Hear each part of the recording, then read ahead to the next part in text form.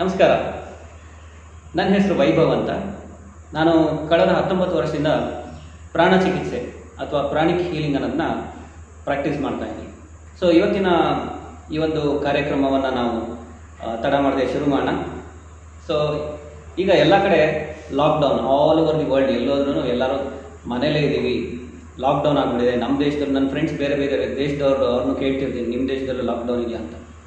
All over the world ಎಲ್ಲ ಕಡೆನೂ ಇವತ್ತು ಲಾಕ್ಡೌನ್ ಅಥವಾ ಕ್ವಾರಂಟೈನ್ ಅಂತ ಹೇಳ್ತಾರೆ. ಸೊ ಇದೇನಿದು? ಇದು ಪೇಯ್ನಾ ಗೇನಾ ಅಂತ ಕೇಳ್ಬೋದು. ನೋವಾ ಅಥವಾ ಇದರಿಂದ ಏನಾದ್ರು ಕಲಿಯೋದಿದೆಯಾ ನಾವು ಅಂತ? ಇನ್ಫ್ಯಾಕ್ಟ್ ಈ ಒಂದು ಅವಕಾಶನ ನಾವು ಕಲೀಲಿಕ್ಕೆ ಯೂಸ್ ಮಾಡ್ಬೋದು. ಓಕೆ ಇದನ್ನು ನೋವು ಅಂತ ಕನ್ಸಿಡರ್ ಮಾಡೋದಕ್ಕಿಂತ ಇದರಿಂದ ಸಾಕಷ್ಟು ಬೆನಿಫಿಟ್ಸ್ ಇದೆ. ಸೊ ಅದ್ರ ಬಗ್ಗೆ ನಾನು ಕೆಲವು ನಿಮಗೆ ಮಾಹಿತಿಯನ್ನು ಇವತ್ತು ಕೊಡ್ತಾ ಹೋಗ್ತೀನಿ. ಇದನ್ನು ಯಾವ ಥರ ನೋಡ್ಬೋದು? ಈ ಒಂದು ಪರಿಸ್ಥಿತಿಯಲ್ಲಿ ನಮ್ಮನ್ನು ನಾವು ಯಾವ ಥರ ಒಂದು ಸೆಲ್ಫ್ ಇಂಟ್ರೋಸ್ಪೆಕ್ಷನ್ ಮಾಡಿಕೊಂಡು ಕೆಲವು ನಮ್ಮಲ್ಲಿ ನಡೆಯುವಂಥ ಕೆಲವು ಘಟನೆಗಳನ್ನ ಯಾವ ಥರ ಇಂಪ್ರೂವ್ ಮಾಡ್ಕೊಳ್ಳೋದು, ನಮ್ಮ ಆರೋಗ್ಯದಲ್ಲಿ ಯಾವ ಥರ ಇಂಪ್ರೂವ್ ಮಾಡ್ಕೊಳ್ಳೋದು. ಸೊ ಇದ್ರ ಬಗ್ಗೆ ನಾವು ಇವತ್ತು ಸಾಕಷ್ಟು ಡಿಸ್ಕಸ್ ಮಾಡೋಣ. ಸೊ ಒಂದು ಸಣ್ಣ ಕತೆ ಹೇಳ್ತೀನಿ. ಒಂದು ಮಂಗ ಇರುತ್ತೆ. ಮಂಗನ ಮುಂದೆ ಒಂದು ಬಾಳೆಹಣ್ಣು ಇರುತ್ತೆ. ಇನ್ನೊಂದು ಐನೂರು ರೂಪಾಯಿ ನೋಟ್ ಇಟ್ಟಿರ್ತಾರೆ ಯಾರೋ. ಸೊ ಮಂಗ ಏನ ಪಿಕ್ ಮಾಡುತ್ತೆ? ಸೊ ನಿಮ್ಮೆಲ್ರಿಗೂ ಗೊತ್ತು, ಅದು ಹೋಗ್ಬಿಟ್ಟು ಸೀದಾ ಬಾಳೆಹಣ್ಣು ತಗೊಳುತ್ತೆ. ಸೊ ಇದೇ ಥರ ಮನುಷ್ಯರ ಮುಂದೆ ಎರಡು ಒಂದು ಆಪ್ಷನ್ಸ್ ಕೊಟ್ಟರೆ ಒಂದು ಕಡೆ ಆರೋಗ್ಯನ ಇಟ್ಬಿಟ್ಟು ಇನ್ನೊಂದು ಕಡೆ ದುಡ್ಡು ಇಟ್ಟರೆ ತುಂಬ ಜನ ಏನು ಮಾಡ್ತಾರೆ, ದುಡ್ಡನ್ನ ಎತ್ಕೊತಾರೆ. ಆರೋಗ್ಯನ ತಗೊಳ್ಳಲ್ಲ ಇನ್ಫ್ಯಾಕ್ಟ್ ಈ ಒಂದು ಸಿಚುವೇಷನಲ್ಲಿ ನಮ್ಮೆಲ್ರಿಗೂ ರಿಯಲೈಸೇಷನ್ ಏನಾಗಿದೆ ಅಂದರೆ ಮಂಗ ಹೆಂಗೆ ಫಸ್ಟು ಬಾಳೆಹಣ್ಣು ತಗೊಂತು ಅದಕ್ಕೆ ಗೊತ್ತಿಲ್ಲ, ದುಡ್ಡು ತೊಗೊಂಡ್ರೆ ಎಷ್ಟೊಂದು ಆದ್ರೆ ಬಾಳೆಹಣ್ಣು ತೊಗೊಬೋದು ಅಂತ. ಸೊ ಅದೇ ಥರ ಮನುಷ್ಯ ಆರೋಗ್ಯನ ಸ್ಯಾಕ್ರಿಫೈಸ್ ಮಾಡಿ ಬರೀ ಕೆಲಸದಲ್ಲಿ ಕಾಂಪಿಟೇಷನಲ್ಲೇ ಮುಳುಗೋಗ್ಬಿಟ್ಟಿದ್ರು ಈಗ ಸಡನ್ನಾಗಿ ಲಾಕ್ಡೌನ್ ಇದೆ. ಎಲ್ಲರೂ ಮನೇಲಿ ಕುತ್ಕೊಂಡು ಯೋಚನೆ ಮಾಡೋ ಒಂದು ಪರಿಸ್ಥಿತಿ ಬಂದಿದೆ. ಸೊ ಈ ಒಂದು ಸ್ಥಿತಿಲಿ ತುಂಬ ಜನ ಈಗ ರಿಯಲೈಸ್ ಮಾಡ್ತಾರೆ ಹೌದಪ್ಪ, ಕೆಲಸ ಇರ್ಬೋದು, ಎಲ್ಲ ಇರ್ಬೋದು, ಎಲ್ಲದಕ್ಕಿಂತ ನನಗೆ ಫಸ್ಟ್ ಬದುಕಬೇಕು ನಾನು ಆ್ಯಂಡ್ ಅದರಿಂದ ನಾನು ಆರೋಗ್ಯಕರವಾಗಿರಬೇಕು. ಸೊ ಆದರೆ ಅದೇ ಫಸ್ಟ್ ಪ್ರಿಯಾರಿಟಿ ಅನ್ನೋದು ಈಗ ನಮಗೆಲ್ರಿಗೂ ಸಾಕಷ್ಟು ಜನಕ್ಕೆ ರಿಯಲೈಸ್ ಆಗ್ತಾ ಇದೆ. So health is very very important ಯಾಕಂದರೆ ಆರೋಗ್ಯ ಚೆನ್ನಾಗಿದ್ದರೆ ನೀವು ಏನು ಬೇಕಾದ್ರೂ ಸಾಧಿಸ್ಬೋದು. So W H world health organisation ಅವರು ಹೆಲ್ತನ್ನ ಡಿಫೈನ್ ಮಾಡ್ತಾರೆ. ಅವ್ರು ಏನು ಹೇಳ್ತಾರೆ ಅಂದರೆ ಹೆಲ್ತ್ ಅನ್ನೋದು ಬರೀ ಕಾಯಿಲೆ ಇಲ್ಲದೆ ಇರೋದು ಮಾತ್ರ ಸಾಕಾಗಲ್ಲ. ಒಬ್ಬ ಮನುಷ್ಯ ದೈಹಿಕವಾಗಿ, ಮಾನಸಿಕವಾಗಿ ಹಾಗೂ ಆಧ್ಯಾತ್ಮಿಕವಾಗಿ ಚೆನ್ನಾಗಿರಬೇಕು ಅಂತ ಹೇಳ್ತಾರೆ. ಸೊ ತುಂಬ ಜನ ಏನು ನಾನು ಹೆಲ್ದಿ ಆಗಿದ್ದೀನಿ ನನಗೇನು ಹೆಲ್ತ್ ಪ್ರಾಬ್ಲಮ್ಸೇ ಇಲ್ಲ ಅಂತ. ಸೊ ಅಷ್ಟು ಮಾತ್ರ ಸಾಕಾಗಲ್ಲ. ಓಕೆ ಸೊ ನೀವು ಎಷ್ಟು, ನಿಮ್ಮ ಎನರ್ಜಿ ಲೆವೆಲ್ಸ್ ಎಷ್ಟಿದೆ? ತುಂಬ ಜನ ಕೆಲಸಕ್ಕೆ ಹೋಗ್ತಾರೆ. ಸಾಯಂಕಾಲ ಆಗೋಷ್ಟರಲ್ಲೇ ಮುಖ ಎಲ್ಲ ಸಗೋಗ್ಬಿಟ್ಟು ಯಾವ ಯಾವಾಗಪ್ಪ ಮನೆಗೆ ಹೋಗೋದು ಅಥವಾ ಮಧ್ಯಾಹ್ನದ ಹೊತ್ತು ನಿದ್ರೆ ಬರೋದು, ಸುಸ್ತಾಗೋದು, ಆಲಸ್ಯ ಇರಲ್ಲ. ಸೊ ಈ ಥರ ಎಲ್ಲ ಸಾಕಷ್ಟು ಸಿಂಪ್ಟಮ್ಸ್ ಇರುತ್ತೆ. ಬಟ್ ಅವ್ರಿಗೆ ಅರ್ಥ ಆಗ್ತಿರಲ್ಲ.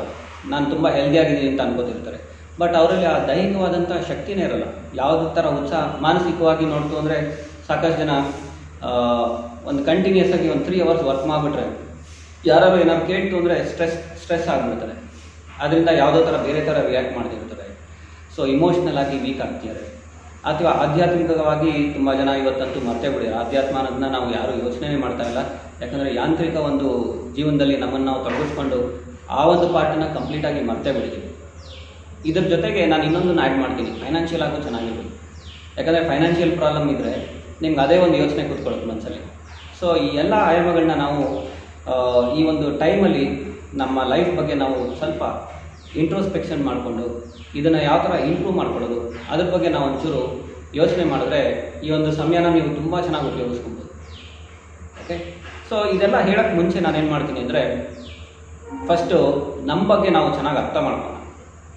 ಓಕೆ ಸೊ ಇದ್ರ ಬಗ್ಗೆ ಒಂದಷ್ಟು ಪರಿಚಯ ಕೊಡ್ತೀನಿ. ಈಗ ಹೆಲ್ತ್ ಬಗ್ಗೆ ನಾವು ಅರ್ಥ ಮಾಡ್ಕೊಳ್ಳಿಕ್ಕೆ ಮುಂಚೆ ನೀವು ಅಂದರೆ ನಿಮ್ಮ ದೇಹ, ಬರೀ ನಾವೇನು ಅಂದ್ಕೊಂಡಿದ್ದೀವಿ ನಮ್ಮ ದೇಹ ಅಂದರೆ ಇಷ್ಟೇ ಅಂತ ಅಂದ್ಕೊಂಡಿದ್ದೀವಿ ಇನ್ನೊಂದಷ್ಟು ಎಕ್ಸ್ಟ್ರಾ ಇನ್ಫಾರ್ಮೇಷನ್ಸ್ ಇವತ್ತು ರಿವೀಲ್ ಮಾಡ್ತೀನಿ ನಾನು. ಅದಾದ ನಂತರ ನಾನು ಕೆಲವು ವಿಷಯಗಳನ್ನ ನಿಮಗೆ ಹೇಳ್ತೀನಿ. ಆಗ it will make more meaningful ನಾನೇನು ಹೇಳ್ತೀನಿ ಅದು. ನೀವು ಯಾವುದೇ ಗುರುಗಳ ಚಿತ್ರಗಳು ನೋಡ್ಬೋದು ಸೈಂಟ್ಗಳು ಅಥವಾ ಪ್ರೊಫೆಟ್ಗಳಿರ್ಬೋದು ಇಲ್ಲ ಮಿಸಿಯಾಗಳಿರ್ಬೋದು ಇಲ್ಲ ಅವತಾರ ಪುರುಷರಿರ್ಬೋದು, ನೀವು ಅವ್ರದ್ದು ಫೋಟೋ ನೋಡಿದ್ರೆ ಅವರ ತಲೆ ಸುತ್ತ ಒಂದು ಬೆಳಕು ಕಾಣುತ್ತೆ. ಯಾವುದೇ ಫೋಟೋ ನೋಡಿ ಯಾವುದೇ ಧರ್ಮದ್ದು, ಯಾವುದೇ ರಿಲಿಜನ್ ನೀವು ಫೋಟೋ ನೋಡಿದ್ರು ಯಾರು ಸ್ಪಿರಿಚುವಲ್ ಆಗಿ ಡೆವಲಪ್ ಆಗಿರ್ತಾರೆ ಅಂಥವ್ರ ಸುತ್ತ, ತಲೆ ಸುತ್ತ ಒಂದು ಬೆಳಕನ್ನು ನೀವು ಚಿತ್ರದಲ್ಲಿ ನೋಡ್ತೀರ. ಸೊ ನಾವೆಲ್ಲ ಅನ್ಕೋತೀವಿ, ಏನೋ ಸ್ಪೆಷಲ್ ಇಫೆಕ್ಟ್ ಅವ್ರು ಏನೋ ಪೇಂಟರ್ ಆ ಥರ ಮಾಡಿರ್ಬೋದು ಅಂತ ನಾವು ಅನ್ಕೋತೀವಿ. ಆ್ಯಕ್ಚುಲಿ ಇದ್ರ ಬಗ್ಗೆ ನಮ್ಮ ಪ್ರಧಾನಮಂತ್ರಿಗಳು ಮೋದಿ ಅವರು ಸಹ ಒಂದು ಸ್ಪೀಚಲ್ಲಿ ಹೇಳ್ತಾರೆ. ಆ ಥರ ಪೇಂಟಿಂಗ್ ಬರೆದಿರೋದು ಸುಮ್ಮ ಸುಮ್ಮನೆ ಅಲ್ಲ, ಅದರದ್ದು ಒಂದು ರಹಸ್ಯ ಇದೆ. So that is called as energy science so ಇವತ್ತು ತುಂಬ ಫಾಸ್ಟಾಗಿ ಈ ಒಂದು ಎನರ್ಜಿ ಸೈನ್ಸ್ ಬೆಳೀತಾ ಇದೆ. ಇದ್ರ ಬಗ್ಗೆ ಸಾಕಷ್ಟು ರಿಸರ್ಚ್ ಸಹ ನಡೆದಿದೆ ಸಾವಿರದ ಒಂಬೈನೂರ ಮೂವತ್ತೊಂಬತ್ತನೇ ಇಸ್ವಿಲಿ ಡಾಕ್ಟರ್ ಸೈಮನ್ ಕಿರ್ಲಿಯನ್ ಅನ್ನೋರು ಒಂದು ಫೋಟೋಗ್ರಫಿ ಟೆಕ್ನಿಕ್ನ ಡೆವಲಪ್ ಮಾಡಿದರು. ಈ ಒಂದು ಫೋಟೋಗ್ರಫಿ ಟೆಕ್ನಿಕ್ನಲ್ಲಿ ಈ ಮನುಷ್ಯ ಮನುಷ್ಯನ ಸುತ್ತ ಇರುವಂತಹ ನಾವೇನು ಎನರ್ಜಿ ಬಾಡಿ ಅಂತ ಹೇಳ್ತೀವಿ, ಅಥವಾ ಪ್ರಭಾವಳಿ ಅಂತ ಹೇಳ್ತೀವಿ, ಇದನ್ನು ಚಿತ್ರೀಕರಿಸುವಂಥ ಒಂದು ಟೆಕ್ನಿಕ್ನ ಅವರು ಡೆವಲಪ್ ಮಾಡಿದರು. ನೋಡಿ, ಅದು ಯಾವ ಥರ ಕಾಣುತ್ತೆ ಅಂದರೆ ಅಂದರೆ ಇದು ಅವ್ರು ಚಿತ್ರೀಕರಿಸಿದ್ದು ಇದಲ್ಲ, ಇದು ಪೇಂಟಿಂಗ್ ಜಸ್ಟ್ ನಾವು ಅನಿಮೇಷನಲ್ಲಿ ತೋರಿಸ್ತಾ ಇದ್ದೀವಿ ನಿಮಗೆ. ಆಮೇಲೆ ಆ್ಯಕ್ಚುಲಿ ಆ ಕ್ಯಾಮ್ರಾ ಲಿಂಕ್ ಕಾಣುತ್ತೆ ಅಂತ ಆಮೇಲೆ ತೋರಿಸ್ತೀನಿ ನಿಮಗೆ. ಈ ಥರ ಒಂದು ಬೆಳಕಿನ ಒಂದು ಶರೀರ ನಮ್ಮ ದೇಹದ ಒಳಗೂ ಮತ್ತು ಹೊರಗೂ ಇರುತ್ತೆ. ಓಕೆ ಇದಕ್ಕೆ ಸೈಂಟಿಫಿಕ್ ಆಗಿ ವ್ಯಾಲಿಡೇಷನ್ ಕೊಡಬೇಕು ಅಂದರೆ ಈ ಚಿತ್ರ. ಈ ಚಿತ್ರದಲ್ಲಿ ನೀವು ನೋಡ್ಬೋದು, ಇವ್ರಿಗೆ ಡಯಾಬಿಟೀಸ್ ಮತ್ತು ನ್ಯೂರೋಪತಿ ಇತ್ತು. ಸೊ ಇವ್ರಿಗೆ ಈ ಒಂದು ಚಿತ್ರೀಕರಣದ ಮೂಲಕ ಒಂದು ಫೋಟೋ ತೆಗೆದಿದ್ದಾರೆ. ಇದರಲ್ಲಿ ನೋಡ್ಬೋದು ಸಾಕಷ್ಟು ಇಂಬ್ಯಾಲೆನ್ಸ್ಗಳಿದೆ ಅವ್ರಿಗೆ ಕೆಲವು ಚಿಕಿತ್ಸೆಗಳು ಮಾಡಿದ್ರು. ಚಿಕಿತ್ಸೆ ಮಾಡಿದ ಮೇಲೆ ಅವ್ರದ್ದು ಶುಗರ್ ಲೆವೆಲ್ ಸ್ವಲ್ಪ ಕಂಟ್ರೋಲ್ಗೆ ಬಂತು. ಮತ್ತು ಕೈ ತುದಿ, ಬೆರಳು ತುದಿಗಳಲ್ಲಿ ಕಾಲಲ್ಲಿ ಚುಚ್ಚೋ ಸೆನ್ಸೇಷನ್ಸ್ ಎಲ್ಲ ಕಡಿಮೆ ಆಯಿತು. ಅದಾದ ನಂತರ ಮತ್ತೆ ಇನ್ನೊಂದು ಫೋಟೋ ತೆಗೆದಿದ್ದಾರೆ. ಸೊ ಇದರಲ್ಲಿ ನೋಡ್ಬೋದು. ಸೊ ಇದು ಎರಡರಲ್ಲೂ ನೀವು ವ್ಯತ್ಯಾಸ ಏನು ಕಾಣ್ತೀರಾ ಅಂದರೆ, ಈ ಚಿತ್ರದಲ್ಲಿ ಎನರ್ಜಿ ಯೂನಿಫಾರ್ಮ್ ಆಗಿಲ್ಲ. ಸಾಕಷ್ಟು ಬ್ಲಾಕೇಜಸ್ ಇದೆ. ಅಂದರೆ ಇಲ್ಲೆಲ್ಲ ಕೆಲವು ಕಡೆ ಎನರ್ಜಿ ಸರಿಯಾಗಿಲ್ಲ. ಈ ಚಿತ್ರದಲ್ಲಿ ಎನರ್ಜೀಸ್ ನೋಡಿ, ಎಷ್ಟು ಡೆನ್ಸ್ ಆಗಿದೆ. ಮತ್ತು ಯೂನಿಫಾರ್ಮ್ ಹಂಡ್ರೆಡ್ ಪರ್ಸೆಂಟ್ ಇವ್ರೇನು ಕರೆಕ್ಟಾಗಿದೆ ಅಂತ ಹೇಳಲ್ಲ ಬಟ್ ಇದಕ್ಕೆ ಕಂಪೇರ್ ಮಾಡಿದ್ರೆ this is much better so ಈ ಥರ ಸಾಕಷ್ಟು ಸಂಶೋಧನೆಗಳು ಇದ್ರ ಬಗ್ಗೆ ನಡೆದಿದೆ. ಇನ್ಫ್ಯಾಕ್ಟ್ ನೀವು ಇಂಟರ್ನೆಟ್ಟಲ್ಲಿ ಇದ್ರ ಬಗ್ಗೆ ಸರ್ಚ್ ಮಾಡ್ತು ಅಂದರೆ ತುಂಬಾ ಇನ್ಫಾರ್ಮೇಷನ್ ಸಿಗುತ್ತೆ. ಓಕೆ ಸೊ ಈ ಎಲ್ಲ ಕೆಲವು ಆದ್ಯ, ಕೆಲವು ಪ್ರಕಾರ ಏನು ಅಂದರೆ ನಮ್ಮ ಶರೀರದ ಒಳಗು ಮತ್ತು ಹೊರಗೂ ಈ ಒಂದು ಕಣ್ಣಿಗೆ ಕಾಣದಂಥ ಒಂದು ಸೂಕ್ಷ್ಮ ಶರೀರ ಇದೆ. ಸೊ ಈ ಒಂದು ಸೂಕ್ಷ್ಮ ಶರೀರನ ಸಾಕಷ್ಟು ಜನ ಪ್ರಭಾವಳಿ ಅಂತ ಹೇಳ್ತಾರೆ. ಇಂಗ್ಲೀಷಲ್ಲಿ ಅವರ ಬಯೋಪ್ಲಾಸ್ಮಿಕ್ ಬಾಡಿ ಎಥರಿಕ್ ಬಾಡಿ, ಈ ಥರ ಬೇರೆ ಬೇರೆ ಹೆಸರುಗಳಿಂದ ಅದನ್ನು ಕರೀತಾರೆ. ಸೊ ಯಾವುದೇ ಒಬ್ಬ ಮನುಷ್ಯ ನೆಗೆಟಿವ್ ಆಗಿ ಅಥವಾ ನಕಾರಾತ್ಮಕವಾಗಿ ಅವರು ಯೋಚನೆ ಮಾಡಿದಾಗ ಅಥವಾ ಭಾವನೆಗಳನ್ನ ಅವರು ಮನಸ್ಸಲ್ಲೇ ಹೋಲ್ಡ್ ಮಾಡಿದಾಗ, ಈ ಒಂದು ಶಕ್ತಿ ಶರೀರದಲ್ಲಿ ಸಾಕಷ್ಟು ಇಂಬ್ಯಾಲೆನ್ಸಸ್ ಆಗುತ್ತೆ. ಸೊ ಯಾವಾಗ ಶಕ್ತಿ ಶರೀರದಲ್ಲಿ ಇಂಬ್ಯಾಲೆನ್ಸಸ್ ಆಗುತ್ತೆ, ಅದು ನಮ್ಮ ದೇಹನ ಅಫೆಕ್ಟ್ ಮಾಡೋಕ್ಕೆ ಸ್ಟಾರ್ಟ್ ಮಾಡುತ್ತೆ. ಇವಾಗ ನಾವೆಲ್ಲ ಒಂದು ಸಿಂಪಲ್ ಒಂದು ಎಕ್ಸ್ಪೆರಿಮೆಂಟ್ ಮಾಡೋಣ. ಯಾಕಂದರೆ ನಾನು ಕೆಲವು ಹೇಳೋದನ್ನ ನೀವು ಯಾರು ಬ್ಲೈಂಡಾಗಿ ಅಕ್ಸೆಪ್ಟ್ ಮಾಡೋ ಅವಶ್ಯಕತೆ ಇಲ್ಲ. ನಮ್ಮ ಗುರುಗಳು ನಾನು ಪ್ರಾಣಿಕಿಲಿಂಗ್ ಕಲ್ತಿದ್ದು ಮಾಸ್ಟರ್ ಚೋ, ಮಾಸ್ಟರ್ ಚೋಪಾಕ್ಸುಯಿ ಅಂತ. ಸೊ ನಮ್ಮ ಗುರುಗಳು ಯಾವಾಗಲೂ ನಮ್ಮ ಕ್ಲಾಸಲ್ಲಿ ಏನು ಹೇಳೋರು ಅಂದರೆ, ನಾವು ಯಾವುದೇ ಹೊಸ ವಿಷಯ ಬಂದಾಗ ಅದನ್ನು ಬ್ಲಾಕ್ ಮಾಡಬಾರ್ದು. ಅದೇ ಥರ ಅದನ್ನು ನಂಬಲ್ಲ ಅಥವಾ ನಂಬ್ತೀನಿ ಅಂತಲೂ ಹೇಳಬಾರ್ದು. ಅದ್ರ ಬಗ್ಗೆ ಸಾಕಷ್ಟು ಎಕ್ಸ್ಪೆರಿಮೆಂಟ್ಸ್ ಮಾಡಬೇಕು. ಮಾಡಿದ ನಂತರ ಅದನ್ನು ನಂಬ್ತೀನಿ, ಇಲ್ಲ ನಂಬಲ್ಲ ಅಂತ ನೀವೇ ಡಿಸೈಡ್ ಮಾಡಿ ಅಂತ ಹೇಳ್ತಾರೆ. ಸೊ ಯಾವುದೇ ಒಬ್ಬ ಬುದ್ಧಿವಂತ ಈ ಒಂದು ಅಪ್ರೋಚ್ನ ಫಾಲೋ ಮಾಡ್ತಾನೆ. ಸೊ ಒಂದು ಸಣ್ಣ ಎಕ್ಸ್ಪೆರಿಮೆಂಟ್ ಮಾಡಿ. ಸೊ ಈಗ ನೀವೆಲ್ಲ ಏನು ಮಾಡಿ ಅಂದರೆ ಕಣ್ಣು ಮುಚ್ಕೊಳ್ಳಿ ಕಣ್ಣು ಮುಚ್ಕೊಂಡು ಮನಸ್ಸಲ್ಲೇ ನೀವು ಯಾವುದೋ ಒಂದು ಇಷ್ಟಪಡುವಂಥ ಒಂದು ಆಹಾರವನ್ನು ಅಥವಾ ನೀವು ಯಾವುದೋ ಒಂದು ಒಂದು ಸ್ವೀಟೋ ಅಥವಾ ನೀವೇನು ಇಷ್ಟಪಡ್ತೀರಾ, ಆ ಒಂದು ಡಿಶ್ ನಿಮ್ಮ ಮುಂದೆ ಇದೆ ಅಂತ ಕಲ್ಪನೆ ಮಾಡ್ಕೊಳ್ಳಿ. ಅದನ್ನು ಮನಸ್ಸಲ್ಲೇ ನೀವು ನೋಡಬೇಕು. ನೋಡಿದ ನಂತರ ಆ ಒಂದು ಪದಾರ್ಥವನ್ನು, ಆ ಒಂದು ಡಿಶನ್ನು ನಿಮ್ಮ ಬಾಯಿಗೆ ಹಾಕೋತಾ ಇದ್ದೀರಾ ಅಂತ ಕಲ್ಪನೆ ಮಾಡಿ. ಅದರ ಟೇಸ್ಟನ್ನು ಫೀಲ್ ಮಾಡೋಕ್ಕೆ ಟ್ರೈ ಮಾಡಿ.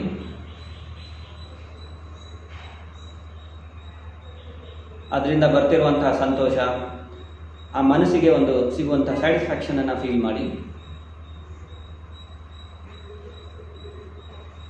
ಈಗ ಅದನ್ನು ನುಂಗ್ತೀರಾ ಅಂತ ಇಮ್ಯಾಜಿನ್ ಮಾಡ್ಕೊಳ್ಳಿ.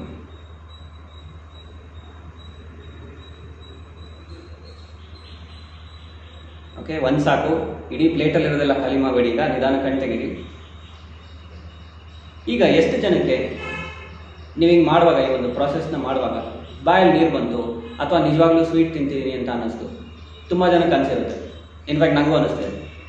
ಸೊ ಈ ಥರ ಮಾಡಿದ್ದು ನಾನು ಏನಕ್ಕೆ ಎಕ್ಸ್ಪೆರಿಮೆಂಟ್ಸ್ ಮಾಡಿದೆ ಅಂದರೆ, ನಮ್ಮ ಮೆದುಳು ನಾವೇನನ್ನು ಕಲ್ಪನೆ ಮಾಡ್ತೀವಿ, ಅದು ನಿಜವಾಗ್ಲೂ ಆಗ್ತಾ ಇದೆ ಅದನ್ನು ಅದು ಫೀಲ್ ಮಾಡುತ್ತೆ. ಸೊ ಹಿಂಗೆ ಮಾಡಿದಾಗ ಏನಾಗುತ್ತೆ ಅಂದರೆ ನಮ್ಮ ದೇಹದಲ್ಲಿ ಕೆಲವು ಹಾರ್ಮೋನ್ಸು ಕೆಲವು ಸೆಕ್ರಿ ಕೆಲವು ಕೆಮಿಕಲ್ಸ್ ಆಟೋಮೆಟಿಕ್ ಆಗಿ ಬಾಡಿಯಲ್ಲಿ ಪ್ರೊಡ್ಯೂಸ್ ಆಗಿಬಿಡುತ್ತೆ. ಇದರಲ್ಲಿ ಸಾಕಷ್ಟು ಸೈಕಾಲಜಿಸ್ಟ್ ಇದ್ರ ಬಗ್ಗೆ ಎಕ್ಸ್ಪೆರಿಮೆಂಟ್ಸ್ ಮಾಡಿದ್ದಾರೆ. ಯಾವಾಗ ಕೆಲವು ಸ್ಟಿಮ್ಯುಲಸ್ಗಳು ನಮ್ಮ ಬ್ರೈನ್ ನಾವು ಕೊಡ್ತಾ ಹೋಗ್ತೀವಿ, ಆಗ ಅದೇನು ಅನ್ಕೊಳ್ಳುತ್ತೆ ನಿಜವಾಗ್ಲೂ ಅವನದು ಮಾಡ್ತೇನೆ ಅಂತ ಅಂದ್ಕೊಂಡು it will start creating those things so ಈಗ ನಿಮ್ಮೆಲ್ಲರಿಗೂ ಸ್ವೀಟ್ ತಿಂದ್ರಿ ಸೊ ಬಾಯಲ್ಲಿ ಒಂಥರ ನೀರು ಬಂದಂಗೆ ಆಯಿತು, ಏನೋ ಸಂತೋಷನೂ ಆಯಿತು. ಬಟ್ ಯಾವಾಗ ಮನಸ್ಸಲ್ಲಿ ಗಾಬರಿ ಇಟ್ಕೋತೀರಾ, ಅಯ್ಯೋ, ಏನೋ ಆಗ್ಬಿಡುತ್ತೆ, ಏನು ನಂಗೇನಾರು ಆಗ್ಬಿಟ್ರೆ ಏನು ಮಾಡಲಿ? ನಾನೆಲ್ಲೂ ಹೊರಗಡೆ ಹೋಗಿಲ್ವಂತೆ ಈ ಥರ ಕೆಲವು ಭಯಗಳು ಮನಸ್ಸಲ್ಲಿ ಹುಟ್ಟಿದಾಗ ನಮ್ಮ ಬಾಡಿಲಿ ಒಂಥರ ಫೈಟಿಂಗ್ ಮೆಕ್ಯಾನಿಸಮ್ ಶುರು ಆಗ್ಬಿಡುತ್ತೆ. ನಮ್ಮಲ್ಲಿ ಸೈಕಾಲಜಿಲಿ ಹೇಳ್ತಾರೆ ಫೈಟ್ ಆರ್ ಫ್ಲೈಟ್ ಇನ್ಸ್ಟಿಂಕ್ಟ್ ಅಂತ. ಸೊ ಯಾವಾಗ, ಯಾವಾಗಲೂ ಒಂಥರ ಉದ್ವೇಗದ ಸ್ಥಿತಿಲಿ ನಾವು ಇರ್ತೀವಿ ಆಂಗ್ಸೈಟಿ ಸ್ಟೇಟಲ್ಲಿ ನಾವು ಇರ್ತೀವಿ, ಆಗ ದೇಹದಲ್ಲಿ ಕೆಲವು ಹಾರ್ಮೋನ್ಸು ಕೆಲವು ಬೇಡದೇ ಇರುವಂಥ ಕೆಲವು ಕೆಮಿಕಲ್ಸು ಎಕ್ಸಸ್ ಆಗಿ ರಿಲೀಸ್ ಆಗುತ್ತೆ. ಸಿ ಕೆಲವು ಸಲ ನಿಜವಾಗ್ಲೂ ಸಿಚುವೇಶನ್ಸ್ ಇರುತ್ತೆ ಆವಾಗ ಆ ಹಾರ್ಮೋನ್ಸ್ಗಳು ನಮಗೆ ಬೇಕು. ಏನಕ್ಕೆ ಅಂದರೆ ನಮ್ಮ ಎನಿಮಿನ ನಾವು ಫೇಸ್ ಮಾಡಬೇಕು ಅಥವಾ ಅಲ್ಲಿಂದ ಓಡಬೇಕು ನಾವು ಫಾಸ್ಟಾಗಿ ಅದಕ್ಕೆ ಎನರ್ಜಿ ಬೇಕು, ಒಪ್ಕೋಣ. ಅಂಥ ಟೈಮಲ್ಲಿ ಅದು ಹೆಲ್ಪ್ ಆಗುತ್ತೆ. ಯಾವಾಗಲೂ ಈ ಹಾರ್ಮೋನ್ಗಳು ಸುಮ್ಮ ಸುಮ್ಮನೆ ಪ್ರೊಡ್ಯೂಸ್ ಆಗ್ತಿತ್ತು ಬಾಡಿಲಿ ಅಂದರೆ, ಅದು ಎಕ್ಸಸ್ ಆಗಿ ಬಾಡಿಲಿ ಕ್ರಿಯೇಟ್ ಆಗ್ಬಿಟ್ಟು, ಅದರಿಂದ ಸಾಕಷ್ಟು ಥರ ಕಾಯಿಲೆಗಳು ಶುರು ಆಗುತ್ತೆ ಮನಸ್ಸಲ್ಲಿ ಯಾವ್ಯಾವ ಥರ ಕಾಯಿಲೆ ಆಗ್ಬೋದು? ಕೆಲವ್ರಿಗೆ ಅಬ್ಸರ್ವ್ ಮಾಡಿ, ಭಯ ಆದರೆ ಸುಮ್ಮ ಸುಮ್ಮನೆ ಟಾಯ್ಲೆಟ್ಗೆ ಹೋಗಬೇಕು ಅಂತ ಅನಿಸ್ತಿರುತ್ತೆ. ಕೆಲವ್ರಿಗೆ ಆ ಸಿಂಟಮ್ಸ್ ಬರುತ್ತೆ. ಇನ್ನು ಕೆಲವ್ರಿಗೆ ಗಂಟ್ಲೆಲ್ಲ ಒಣಗೋಗ್ಬಿಡುತ್ತೆ ಇನ್ನು ಕೆಲವ್ರಿಗೆ ಹಾರ್ಟ್ ಬೀಟ್ ಜಾಸ್ತಿ ಆಗಿಬಿಡುತ್ತೆ. ಇನ್ನು ಕೆಲವ್ರಿಗೆ ಹೊಟ್ಟೆಲಿ ಏನೋ ಒಂಥರ ಸಂಕಟ ಶುರು ಆಗುತ್ತೆ ಇನ್ನು ಕೆಲವ್ರಿಗೆ ಒಂಥರ ವೀಕ್ನೆಸ್ ಬಂದ್ಬಿಡುತ್ತೆ. ವೀಕ್ನೆಸ್ ಬಂದಾಗ ಏನಾಗುತ್ತೆ? ರೋಗ ನಿರೋಧಕ ಶಕ್ತಿ ಕಡಿಮೆ ಆಗುತ್ತೆ. ಅದರಿಂದ ಕಾಯಿಲೆಗಳು ಬರೋ ಚಾನ್ಸಸ್ಸು ಇರುತ್ತೆ. ಸೊ ಈ ಒಂದು ಆಂಗ್ಸೈಟಿ ಅನ್ನೋದಿದೆಯಲ್ಲ ಇದನ್ನು ಮನಸ್ಸಲ್ಲಿ ಫಸ್ಟು ಹೋಗ್ಲಾಡಿಸ್ಕೊಳ್ಬೇಕು ಯಾಕಂದರೆ ಇದರಿಂದ ಯಾವುದೇ ಥರ ಪ್ರಯೋಜನಗಳು ನಮಗೆ ಆಗಲ್ಲ. ಯಾವಾಗ ನೀವು ಪಾಸಿಟಿವ್ ಥಾಟ್ಸ್ನ ಮನಸ್ಸಲ್ಲಿ ಎಕ್ಸ್ಪೀರಿಯೆನ್ಸ್ ಮಾಡ್ತಾ ಹೋಗ್ತೀರಾ, ಅದರಿಂದ ನಿಮ್ಮ ಆರೋಗ್ಯದ ಮೇಲೆ ಮತ್ತು ನಿಮ್ಮ ಪರಿಸರದ ಮೇಲೆ ಸಾಕಷ್ಟು ಬೆನಿಫಿಟ್ಸ್ ಇರುತ್ತೆ. ಒಂದು ಸಣ್ಣ ಒಂದು ಎಕ್ಸಾಂಪಲ್ ಕೊಡ್ತೀನಿ ನಿಮಗೆ. ನೆಗೆಟಿವ್ ಥಾಟ್ಸ್ ಯಾವ ಥರ ಅಫೆಕ್ಟ್ ಮಾಡುತ್ತೆ ಅಂತ. ಇಮ್ಯಾಜಿನ್ ಮಾಡ್ಕೊಳ್ಳಿ.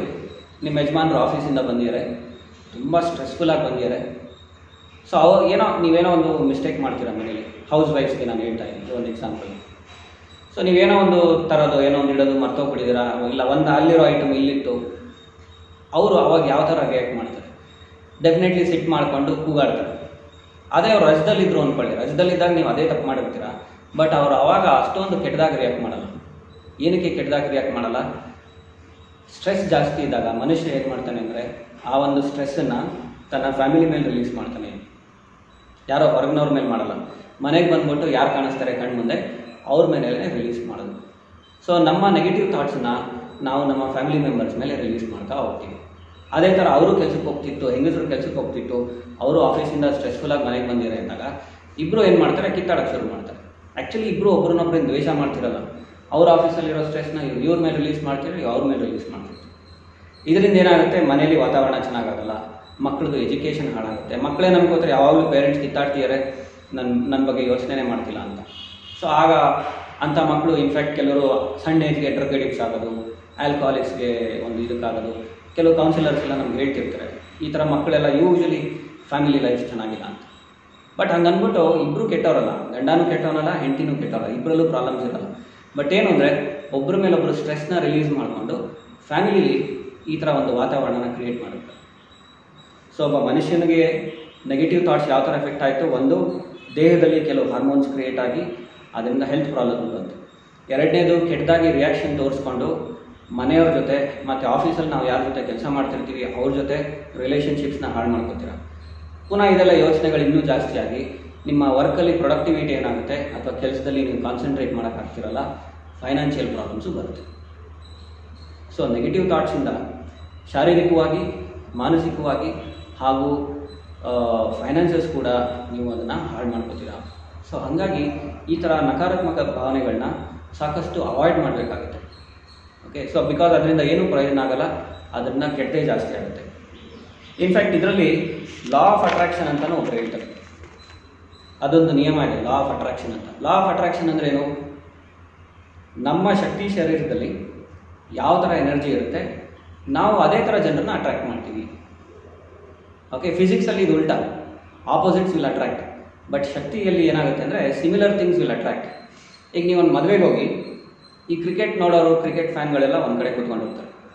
ಅವರು ಕ್ರಿಕೆಟ್ ಬಗ್ಗೆ ಡಿಸ್ಕಸ್ ಮಾಡ್ತಾ ಇನ್ನೊಂದು ಗ್ರೂಪ್ ಅಲ್ಲಿ ಇತ್ತು ಅಂದರೆ ಅಲ್ಲೆಲ್ಲ ಈ ಟಿ ವಿ ಸೀರಿಯಲ್ ನೋಡೋರೆಲ್ಲ ಒಂದು ಕಡೆ ಕೂತಿರ್ತಾರೆ. ಅವ್ರು ಅದ್ರ ಬಗ್ಗೆ ಡಿಸ್ಕಸ್ ಮಾಡ್ತಿರ್ತಾರೆ. ಸೊ ಅವ್ರವ್ರ ಇಂಟ್ರೆಸ್ಟ್ ತಕ್ಕಂತೆ ಅವ್ರ ಫ್ರೆಂಡ್ಸ್ಗಳನ್ನ ಅವ್ರೇನು ಮಾಡ್ತಾರೆ? ಅಟ್ರಾಕ್ಟ್ ಮಾಡ್ತಾರೆ. ಸೊ ನಿಮ್ಮ ಶಕ್ತಿ ಶರೀರದಲ್ಲಿ ಯಾವಾಗ ನೀವು ನಕಾರಾತ್ಮಕ ಭಾವನೆಗಳನ್ನ ಜಾಸ್ತಿ ತುಂಬ್ಕೋತೀರಾ ನಿಮ್ಮ ಫ್ರೆಂಡ್ಸು ಅದೇ ಥರದವರೇ ಇರ್ತಾರೆ. ಸೊ ನೀವೆಲ್ಲ ಸೇರಿದಾಗ ಏನು ಮಾಡ್ತೀರಾ? ಅದ್ರ ಬಗ್ಗೆನೇ ಮಾತಾಡ್ತೀರಾ. ಸೊ ಅದ್ರ ಬಗ್ಗೆನೇ ಮಾತಾಡಿದಾಗ ನಿಮ್ಮ ಹೆಲ್ತ್ ಏನಾಗುತ್ತೆ? ಇನ್ನೂ ಹಾಳಾಗುತ್ತೆ. ಸೊ ಆ ಥರದನ್ನ ನೀವು ಸಾಕಷ್ಟು ಕಡಿಮೆ ಮಾಡ್ಕೊಬೇಕು ಅಥವಾ ಬಿಟ್ಬಿಡ್ಬೇಕು. ಅಥವಾ ಕೆಲವು ನೆಗೆಟಿವ್ ಆಗಿ ತೋರಿಸುವಂತಹ ಕೆಲವು ಇನ್ಫಾರ್ಮೇಷನನ್ನು ನಾವು ಅವಾಯ್ಡ್ ಮಾಡೋದೇ ಒಳ್ಳೆಯದು ತುಂಬ ಅದನ್ನೇ ನೋಡ್ತಿತ್ತು ಅಂದರೆ ಮನಸ್ಸಲ್ಲಿ ಅದು ರಿಪೀಟ್ ಆಗ್ತಾ ಹೋಗುತ್ತೆ. ಓಕೆ ಸೊ ಎಷ್ಟು ತಿಳ್ಕೊಬೇಕೋ ಅಷ್ಟು ತಿಳ್ಕೊಳ್ಳಿ. ತೀರಾ ಅದ್ರ ಮೇಲೆ ನಾವು ಯೋಚನೆ ಮಾಡ್ತಿತ್ತು ಅಂದರೆ ಅದೇ ಥರದ್ದು ಎನರ್ಜೀಸ್ನ ನಾವು ಅಟ್ರಾಕ್ಟ್ ಮಾಡ್ಕೋತಾ ಹೋಗ್ತೀವಿ. ಸೊ ಇದನ್ನು ನಾವು ಲಾ ಆಫ್ ಅಟ್ರಾಕ್ಷನ್ ಅಂತ ಹೇಳ್ತೀವಿ. ಸೊ ಈಗ ಪಾಸಿಟಿವ್ ಥಾಟ್ಸ್ ಬಗ್ಗೆ ನಾವು ಮಾತಾಡ್ತಾ ಹೋಗೋಣ. ಪಾಸಿಟಿವ್ ಥಾಟ್ಸಿಂದ ಏನಾಗುತ್ತೆ ಅಂದರೆ ನಿಮ್ಮಲ್ಲಿ ಸಾಕಷ್ಟು ಪಾಸಿಟಿವ್ ಹಾರ್ಮೋನ್ಸ್ ಕ್ರಿಯೇಟ್ ಆಗುತ್ತೆ ಮೈಯಲ್ಲಿ. ಸಿಟ್ಟು ಬದಲು ನೀವು ಶಾಂತಿಯಿಂದ ಇತ್ತು ಅಂದರೆ ಆ ನೆಗೆಟಿವ್ ಹಾರ್ಮೋನ್ಸ್ ಕ್ರಿಯೇಟ್ ಆಗಲ್ಲ. ನಿಮ್ಮ heart beat for example normal ಆಗಿರುತ್ತೆ. ಸೊ ಪಾಸಿಟಿವ್ ಥಾಟ್ಸಿಂದ ಸಾಕಷ್ಟು ಪ್ರಯೋಜನಗಳು ಬರ್ತಾ ಹೋಗುತ್ತೆ. ಈಗ ಪಾಸಿಟಿವ್ ಥಾಟ್ಸಲ್ಲೇ ನಾವೊಂದಷ್ಟು ಡಿಸ್ಕಷನ್ಸ್ ಮಾಡೋಣ. ಇದರಲ್ಲಿ ಒಂದು ಕಂಪ್ಯಾರಿಸನ್ ಕೊಡ್ತೀನಿ. ಐ ವರ್ಸಸ್ ವಿ ಅಂತ. ನಾನು ಮತ್ತು ನಾವು. ಇದೆರಡರದ್ದು ನಾವು ಏನು ಇದರಿಂದ ಏನೇನು ಬೆನಿಫಿಟ್ಸ್ ಆಗುತ್ತೆ ಪ್ರಯೋಜನಗಳೇನಾಗುತ್ತೆ ಅಥವಾ ಕೆಟ್ಟದೇನಾಗುತ್ತೆ ಅಂತ ತಿಳ್ಕೋಣ ಯಾವಾಗಲ ಒಬ್ಬ ಮನುಷ್ಯ, ನಾನು, ನಂದು ನನ್ನ ಬಗ್ಗೆನೇ ಯೋಚನೆ ಮಾಡ್ತಿರ್ತಾನೆ. ಅಂಥವನಲ್ಲಿ ಏನಾಗುತ್ತೆ? ಸಿಟ್ಟು ಜಾಸ್ತಿ ಬರುತ್ತೆ. ಸಿಟ್ಟು ಜಾಸ್ತಿ ಬಂದಾಗ ಏನಾಗುತ್ತೆ? ಅವ್ರಿಗೆ ನೆಗೆಟಿವ್ಸ್ ಅಕ್ಯುಮುಲೇಟ್ ಆಗ್ತಾ ಹೋಗುತ್ತೆ. ಸೊ ಅದಕ್ಕೆ ಐ ಲೀಡ್ಸ್ ಟು ಇಲ್ನೆಸ್ ಅಂತ ಹೇಳ್ತಾರೆ. ಸೊ ಯಾವಾಗ ನಮ್ಮ ಬಗ್ಗೆನೇ ತೀವ್ರ ಯೋಚನೆ ಮಾಡೋಕ್ಕೆ ಶುರು ಮಾಡ್ತೀವಿ, ಅದರಿಂದ ಕಾಯಿಲೆಗಳು ಜಾಸ್ತಿ ಆಗುತ್ತೆ. ಯಾವಾಗ ನಾವು ಐ ಅನ್ನೋ ಪದನ ಸ್ವಲ್ಪ ಕಡಿಮೆ ಮಾಡಿಕೊಂಡು ವಿ ಅನ್ನೋ ಪದನ ಯೂಸ್ ಮಾಡೋಕ್ಕೆ ಸ್ಟಾರ್ಟ್ ಮಾಡ್ತೀವಿ. ಅಥವಾ ವಿ ಕಾನ್ಸೆಪ್ಟ್ನ ನಾವು ನಮ್ಮ ಜೀವನದಲ್ಲಿ ಅಳವಡಿಸ್ಕೋತೀವಿ. ಆಗ ಸಾಕಷ್ಟು ಅದರಿಂದ ಪಾಸಿಟಿವ್ ಬೆನಿಫಿಟ್ಸ್ ಬರ್ತಾ ಹೋಗುತ್ತೆ. ಈಗ ಒಂದು ಉದಾಹರಣೆ ತಗೋತು ಅಂದರೆ, ಒಂದು ಒಂದು ಹ್ಯೂಮನ್ ಬಾಡಿ ನಮ್ಮ ದೇಹದ ಎಕ್ಸಾಂಪಲ್ಲೇ ತಗೊಳ್ಳಿ ನಮ್ಮ ದೇಹದಲ್ಲಿ ಎಷ್ಟೊಂದು ಥರ ಆರ್ಗನ್ಸ್ ಇದೆ. ಟ್ರಿಲಿಯನ್ಸ್ ಆಫ್ ಸೆಲ್ಸ್ ಇದೆ ನಮ್ಮ ಬಾಡಿಲಿ ಸೆಲ್ಗಳು ಒಂದಕ್ಕೊಂದಕ್ಕೆ ಹಾರ್ಮೋನಿಯಸ್ ಆಗಿ ಕೆಲಸ ಮಾಡುತ್ತೆ ಇನ್ಫ್ಯಾಕ್ಟ್ ಒಂದು ಸೆಲ್ ಸರಿಯಾಗಿ ಕೆಲಸ ಮಾಡ್ತಿಲ್ಲ ಅಂದರೆ ಇನ್ನೊಂದು ಅದರ ಫಂಕ್ಷನನ್ನು ತಗೊಂಡು ಅದನ್ನು ಸಪೋರ್ಟ್ ಮಾಡೋಕ್ಕೆ ಟ್ರೈ ಮಾಡುತ್ತೆ. ಸೊ ಅಲ್ಟಿಮೇಟ್ಲಿ ಎಲ್ಲ ಸೆಲ್ಗಳು ಎಲ್ಲ ಆರ್ಗನ್ಸು ಎಲ್ಲ ಗ್ಲ್ಯಾಂಡ್ಸ್ ನಮ್ಮ ದೇಹದಲ್ಲಿ ವಿ ಅಂದರೆ ನಮ್ಮ ಒಂದು ದೇಹಕ್ಕೋಸ್ಕರ ಅದು ಕೆಲಸ ಮಾಡ್ತಾ ಇರುತ್ತೆ. ಸೊ ಅದೇ ರೀತಿ ನಾವು ವಿ ಅನ್ನೋ ಕಾನ್ಸೆಪ್ಟನ್ನು ನಮ್ಮಲ್ಲಿ ನಾವು ಬೆಳೆಸ್ಕೊಂಡಾಗ ಆ್ಯಕ್ಚುಲಿ ನಮ್ಮ ದೇಶಕ್ಕೆ ನಾವು ಸಾಕಷ್ಟು ನಾವು ಕೊಡುಗೆನ ಕೊಡ್ಬೋದು. ಸಾಕಷ್ಟು ಬೇರೆ ಬೇರೆ ಎಲ್ಲ ಥರ ಪ್ರೊಫೆಷನ್ಸ್ ಅವರು ಈ ಒಂದು ದೇಶಕ್ಕೆ ಬೇಕಾಗುತ್ತೆ. ಪ್ರತಿಯೊಬ್ಬರದ್ದು ಅವ್ರದ್ದೇ ಆದಂಥ ಕೆಲವು ಕಾಂಟ್ರಿಬ್ಯೂಷನ್ಸ್ ಇರುತ್ತೆ. ಸೊ ನಾವು ನಮ್ಮಲ್ಲಿ, ನಮ್ಮ ದೇಹದಲ್ಲಿ ಹೆಂಗೆ ಆರ್ಗನ್ಸು ವಿ ಅನ್ನೋ ಕಾನ್ಸೆಪ್ಟಲ್ಲಿ ವರ್ಕ್ ಮಾಡುತ್ತೆ, ಅದೇ ಥರ ನೀವು ವಿ ಅನ್ನೋ ಕಾನ್ಸೆಪ್ಟನ್ನು ಬೆಳೆಸ್ಕೊಳ್ಳೋಕೆ ಸ್ಟಾರ್ಟ್ ಮಾಡಿ. ಐ ಅಂದಷ್ಟು ಕೆಳಗೆ ಹೋಗ್ತೀರಾ? I is equal to illness ನಾವು ಯಾವಾಗ ವಿ ಅಂತ ಹಾಕೋತೀವಿ W E we is wellness I is illness we is wellness so ಯಾವಾಗಲೂ ನಾವು ಬೇರೆಯವ್ರಿಗೆ ಏನು ಕೊಡೋಕ್ಕಾಗತ್ತೆ ನನ್ನಿಂದ? ಬೇರೆಯವ್ರ ಜೊತೆ ಹೆಂಗೆ ಹಾರ್ಮೋನಿಯಸ್ ಆಗಿ ವರ್ಕ್ ಮಾಡೋಕ್ಕಾಗುತ್ತೆ? ಇದನ್ನು ಬೆಳೆಸ್ಕೊಂಡಾಗ ಏನಾಗುತ್ತೆ ಅಂದರೆ ನಿಮ್ಮಲ್ಲಿ ಸಾಕಷ್ಟು ಪಾಸಿಟಿವ್ ಥಾಟ್ಸ್ ಪಾಸಿಟಿವ್ ಇಮೋಷನ್ಸ್ ಬೆಳೆಯೋಕ್ಕೆ ಸ್ಟಾರ್ಟ್ ಆಗುತ್ತೆ. ಅದರಿಂದ ನಿಮ್ಮ ಓವರ್ ಆಲ್ ಹೆಲ್ತ್ ಇಂಪ್ರೂವ್ ಆಗುತ್ತೆ. ಹೆಲ್ತ್ ಒಂದೇ ಅಲ್ಲ, ನಿಮ್ಮ ಪರಸ್ಪರ ಸಂಬಂಧಗಳು ಇಂಪ್ರೂವ್ ಆಗುತ್ತೆ. ಫೈನಾನ್ಸಸ್ ಇಂಪ್ರೂವ್ ಆಗುತ್ತೆ. ಓಕೆ ಸೊ ಅದ್ರ ಬಗ್ಗೆ ಒಂದಷ್ಟು ಡಿಸ್ಕಷನ್ಸ್ ಮಾಡೋಣ. ಮೊದಲನೇದು ವಿ ಅಂದಾಗ ನಮಗೆ, ನಮ್ಮಿಂದ ಸಮಾಜಕ್ಕೆ ಏನು ನಾವು ಕೊಡುಗೆಯನ್ನು ಕೊಡ್ಬೋದು ಅನ್ನೋದ್ರ ಬಗ್ಗೆ ನಾವು ಒಂದಷ್ಟು ಡಿಸ್ಕಷನ್ಸ್ ಮಾಡೋಣ. ಅದರಲ್ಲಿ ನಾವೆಲ್ಲ ಈ ಒಂದು law of cause and effect ಬಗ್ಗೆ ಕೇಳಿರ್ಬೋದು. Law of cause and effect ಅಂದ್ರೇನು? ನಾವೇನೋ ಒಂದು ಮಾಡಿದಾಗ ಅದಕ್ಕೆ ಕರೆಕ್ಟಾಗಿ ಒಂದು ರಿಯಾಕ್ಷನ್ ಬರುತ್ತೆ ಅಂತ. ಈಗ ನೀವೊಂದು ಮಾವಿನ ಹಣ್ಣಿದ್ದು ಬೀ ಬೀಜನ ಬಿತ್ತುತ್ತೀರ? ಏನಾಗುತ್ತದು? ಅದು ಸ್ವಲ್ಪ ದಿನ ಆದಮೇಲೆ ಎಷ್ಟೊಂದು ಮಾವಿನ ಹಣ್ಣು ಹಾಕ್ಬಿಟ್ಟು ವಾಪಸ್ ನಿಮ್ಗೆ ಬರುತ್ತೆ. ಸೊ ನಾವೇನೇ ಮಾಡ್ತೀವಿ, ಅದು ನಮಗೆ ವಾಪಸ್ ಬರುತ್ತೆ. ಇದನ್ನು law of cause and effect ಅಂತ ಹೇಳ್ತಾರೆ. ಇದನ್ನು ಎಲ್ಲ ರಿಲಿಜನ್ಸಲ್ಲೂ ಹೇಳ್ತಾರೆ. ಹಿಂದೂ ರಿಲಿಜನಲ್ಲಿ ನೋಡ್ತು ಅಂದರೆ ಅಲ್ಲಿ ಲಾ ಆಫ್ ಕರ್ಮ ಅಂತ ಹೇಳ್ತಾರೆ. ಅದೇ ನೀವು ಕ್ರಿಶ್ಚಿಯಾನಿಟಿಗೆ ಹೋಯಿತು ಅಂದರೆ ಬೈಬಲಲ್ಲೂ ಅದ್ರ ಬಗ್ಗೆ ಹೇಳ್ತಾರೆ. ಸೊ ಅವ್ರಿಗೆ ಮನುಷ್ಯ ತಾನೇನು ಮಾಡ್ತಾನೆ? ಅದೇ ಅವ್ರಿಗೆ ಬರುತ್ತೆ ಅಂತ. ನೀವು ಕುರಾನ್ ಓದ್ತು ಅಂದರೆ ಕುರಾನ್ನಲ್ಲೂ ಅದೇ ಕೊಟ್ಟಿದ್ದಾರೆ. ಸೊ ಮನುಷ್ಯ ಬೇರೆಯವ್ರಿಗೆ ಏನು ಮಾಡ್ತಾನೆ? ಅದು ಯಾವಾಗಲೂ ವಾಪಸ್ ಬರ್ತಾ ಹೋಗುತ್ತೆ.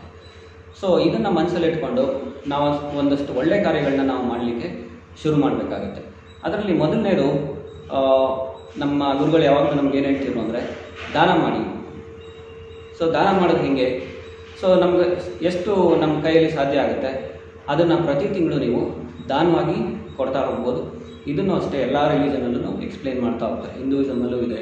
ದಾನ ಮಾಡಿ ದುಡ್ದಿರೋದ್ರಲ್ಲಿ ಅಂತ. ನೀವು ಚರ್ಚಲ್ಲಿ ಹೋಯಿತು ಅಂದರೆ ಅಲ್ಲಿ ಟೈತಿಂಗ್ ಅಂತ ಹೇಳ್ತಾರೆ. ಅದೇ ಇಸ್ಲಾಮಲ್ಲಿ ಜಕತ್ತು, ಉಷರ್ ಅಂತ ಬೇರೆ ಬೇರೆ ಪದಗಳನ್ನ ಯೂಸ್ ಮಾಡ್ತಾರೆ. ಅಲ್ಲೂ ಸಹ ಅವರು ಅಷ್ಟೇ ಬಡವರಿಗೆ ಈ ಒಂದು ದಾನವನ್ನು ಮಾಡಲಿಕ್ಕೆ ಸ್ಟಾರ್ಟ್ ಮಾಡ್ತಾರೆ. ಸೊ ಈ ಒಂದು law of cause and effect ಪ್ರಕಾರ ನೀವು ಬೇರೆಯವ್ರಿಗೆ ಏನು ಕೊಡ್ತೀರಾ, ಅದೇ ನಿಮ್ಗೆ ವಾಪಸ್ ಬರೋದು ಸೊ ನೀವು ಯಾವಾಗ ದಾನವನ್ನು ಕೊಡ್ತೀರಾ ನಿಮ್ಗೆ ಅದು ಸಾಕಷ್ಟು ಫೈನಾನ್ಷಿಯಲ್ ಗ್ರೋತ್ ಆಗಿ ಬರುತ್ತೆ. ಓಕೆ ಸಾಕಷ್ಟು ನೀವು ದೇಶಗಳನ್ನ ನೋಡ್ಬೋದು. ಪ್ರಪಂಚದಲ್ಲಿ ಅತಿ ಶ್ರೀಮಂತ ದೇಶಗಳು ಕೆಲವೆಲ್ಲ. ಅಥವಾ ಶ್ರೀಮಂತರನ್ನೇ ನೀವು ನೋಡ್ತು ಅಂದರೆ ಅವರೆಲ್ಲ ಸುಮ್ಮ ಸುಮ್ಮನೆ ಶ್ರೀಮಂತರಾಗಿರಲ್ಲ. ಅವ್ರದ್ದೇ ಸಾಕಷ್ಟು ಚಾರಿಟಬಲ್ ಆರ್ಗನೈಸೇಷನ್ಸ್ ನಮ್ಮ ಬಿಲ್ ಗೇಟ್ಸ್ ನೋಡಿ, ನಮ್ಮ ಟಾಟಾ ಅವ್ರು ನೋಡಿ, ಅವರೆಲ್ಲ ಏನು ಮಾಡಿದ್ದಾರೆ? ಸಾಕಷ್ಟು ದಾನಗಳನ್ನ ಕೊಡ್ತಾರೆ. ಅದರಿಂದ ದುಡ್ಡು ಯಾವಾಗಲೂ ಕಂಟಿನ್ಯೂಸ್ ಆಗಿ ಅವ್ರು ಬರ್ತಾರೆ. ಇನ್ಫ್ಯಾಕ್ಟ್ ನಮ್ಮ ಗುರುಗಳು ಏನು ಹೇಳ್ತಿದ್ರು ಅಂದರೆ, ನೀವು ಲೈಫಲ್ಲಿ ದುಡ್ಡನ್ನು ಪಡಿಬೇಕು ಅಂದರೆ ನೀವು ಫಸ್ಟ್ ಅದನ್ನು ಕೊಡಿ ಅಂತ ಹೇಳ್ತಾರೆ. ಸೊ ನೀವು ದಾನ ಮಾಡಿದಾಗ ಅದು ನಿಮಗೆ ಮಲ್ಟಿಪಲ್ಸ್ ಆಗಿ ವಾಪಸ್ ಬರುತ್ತೆ. ಎರಡನೇದು, ನೀವು ಬ್ಲೆಸ್ ಮಾಡೋದು. ಬ್ಲೆಸ್ ಅಂದ್ರೇನು ಈಗ ನಿಮ್ಗೆ ಪ್ರೀತಿ ಬೇಕು. ಸೊ ನೀವೇನು ಮಾಡಬೇಕು? ಪ್ರೀತಿನ ಬೇರೆಯವ್ರಿಗೆ ಕೊಡ್ತೀರ. ಯಾವ ಥರ ಪ್ರೀತಿಯಿಂದ ನಡ್ಕೊಳ್ಳೋದು. ಮತ್ತು ಬ್ಲೆಸ್ಸಿಂಗ್ಸ್ ಅಂತ ಒಂದು ಟೆಕ್ನಿಕ್ ಇದೆ. ಇದರಲ್ಲಿ ಏನು ಅಂದರೆ, ನೀವು ದೇವರ ಒಂದು ಇನ್ಸ್ಟ್ರೂಮೆಂಟ್ ಆಗಿ ಇಡೀ ಪೃಥ್ವಿಯನ್ನು ನೀವು ಆಶೀರ್ವಾದ ಹೋಗ್ಬೋದು ಇನ್ಫ್ಯಾಕ್ಟ್ ಇದನ್ನು ಟ್ವಿನ್ ಹಾರ್ಟ್ಸ್ ಮೆಡಿಟೇಷನ್ ಅಂತಲೂ ಹೇಳ್ತಾರೆ. ಸೊ ಟ್ವಿನ್ ಹಾರ್ಟ್ಸ್ ಮೆಡಿಟೇಷನ್ ಬಗ್ಗೆ ಸಾಕಷ್ಟು ಇನ್ಫಾರ್ಮೇಷನ್ ನಿಮಗೆ ಇಂಟರ್ನೆಟ್ಟಲ್ಲಿ ಸಿಗುತ್ತೆ. ಈ ಒಂದು ಧ್ಯಾನದಲ್ಲಿ ನಾವೇನು ಮಾಡ್ತೀವಿ ಅಂದರೆ, ದೇವರ ಒಂದು ಕಾಲುವೆ ಆಗಿ ಇಡೀ ಪೃಥ್ವಿಯ ಒಳಿತಿಗೋಸ್ಕರ ನಾವು ಈ ಒಂದು ಧ್ಯಾನನ ಮಾಡ್ತಾ ಹೋಗ್ತೀವಿ. ಇನ್ಫ್ಯಾಕ್ಟ್ ಈ ಒಂದು ಸಮಯದಲ್ಲಿ ಈ ಮೆಡಿಟೇಷನ್ ತುಂಬ ಇಂಪಾರ್ಟೆಂಟ್ ಈ ಮೆಡಿಟೇಷನ್ ಬಗ್ಗೆನೇ ನಾನು ಏನಕ್ಕೆ ನಿಮ್ಗೆ ಜಾಸ್ತಿ ಹೇಳ್ತಾ ಇದ್ದೀನಿ ಅಂದರೆ ಸಿ ಬೇರೆ ಮೆಡಿಟೇಷನ್ಸ್ ಒಳ್ಳೇದಿದೆ. ಎಷ್ಟೊಂದು ಥರ ಮೆಡಿಟೇಷನ್ಸ್ ನೀವು ಕಲ್ತಿರ್ಬೋದು. ಅಲ್ಲೆಲ್ಲ ಏನು ಮಾಡ್ತೀರಾ ಅಂದರೆ, ಆ ಒಂದು ಎನರ್ಜಿನ ಯೂನಿವರ್ಸಿಂದ ಏನು ಎನರ್ಜಿ ಬರುತ್ತೆ ಅದನ್ನ ನಿಮ್ಮ ಬಾಡಿಗೆ ತೊಗೊಳಕ್ಕೆ ಟ್ರೈ ಮಾಡ್ತೀರಾ. ಬಟ್ ಈ ಮೆಡಿಟೇಷನಲ್ಲಿ ಏನಾಗುತ್ತೆ ಅಂದರೆ, ನೀವು ಆ ಒಂದು ಎನರ್ಜಿನ ನಿಮ್ಮ ಮೂಲಕ ಇಡೀ ಪೃಥ್ವಿಗೆ ಹರಿಸ್ತಾ ಹೋಗ್ತೀರಾ. ಆ್ಯಂಡ್ ಈಗಂತೂ ಫ್ರೀಯಾಗಿ ಈ ಒಂದು ಮೆಡಿಟೇಷನನ್ನು ಟೆಲಿಕಾಸ್ಟ್ ಮಾಡ್ತಿದ್ದಾರೆ.